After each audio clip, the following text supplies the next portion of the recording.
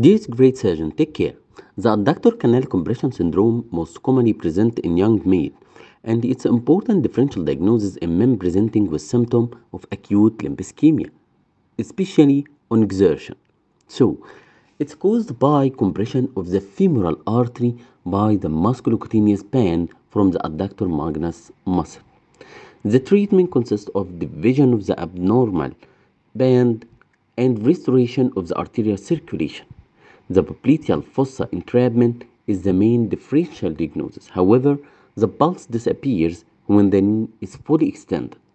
So, to make it simple, if the pulse present when the knee is fully extended and the patient is presenting with the compression syndrome, it's adductor canal compression syndrome.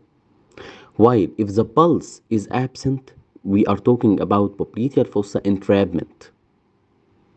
Again, we have adductor canal compression syndrome and popliteal fossa entrapment.